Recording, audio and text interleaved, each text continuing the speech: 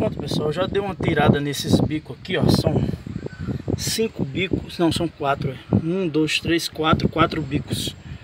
Eu tirei esses bicos aí. Coloquei de volta, limpei e coloquei de volta, tá? Agora eu vou ligar para ver como é que ficou.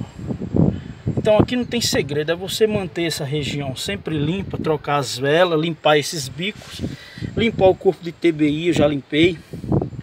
Esse corpo de TBI aqui também tem que ter a marca Toyota, tá vendo? Ó, esse aí. Você fez esse sistema aí, o carro vai funcionar normalmente. Forte abraço de Lima Viagens.